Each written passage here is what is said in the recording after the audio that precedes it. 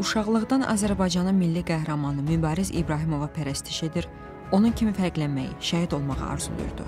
O şəhid olan döyüş yoldaşlarının cəsədlərini düşmən əlinə keçməməsi üçün böyük hünər göstərir. Şəhadətindən 15 gün sonra dünyaya gələn sonuncu övladının üzünü görmək nəsib olmur. Düşmənin qorxulu yuxusuna çevrilən cəsur döyüşçü Əskər İsrafilov Anar İsrafilovlu 4 yanvar 1990-cı ildə Ağdaş rayonu Orta Ləki kəndində anadan olub. Ağdaş rayonu Orta Ləki kənd tam orta məktəbində orta təhsil alıb.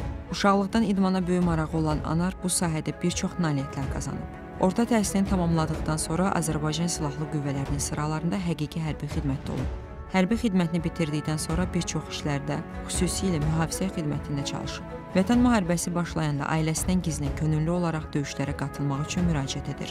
5 oktyabr 2020-ci ildə döyüşlərə qatılıb Füzuli, Cəbrayıl, Zəngilan və Qubadlı istiqamətlərində vuruşub, şərəfli döyüş yolu keçib.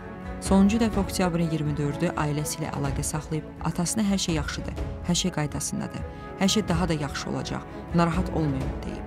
25 oktyabr 2020-ci ildə Döyüş yoldaşlarının neytral ərazidə qalan cəsədlərini çıxaran zaman şəhidlik zirvəsinə ucalıb. Ağdaş rayonu Ləki kənd şəhidlər xiyabanında dəfn edilib. Anar övladının üzünü görə bilməsə də, ailəsi yeni doğulan körpəyə onun adını verib. Ölümündən sonra vətən uğrunda Cəbrailin azad olunmasına görə, Füzulinin azad olunmasına görə və cəsur döyüşçü medalları ilə təltif edilib. Ailəli idi, üç övladı yadigar qalıb. Sonuncu övladı o şəhid olduqdan 15 gün sonra dünyaya gəlib.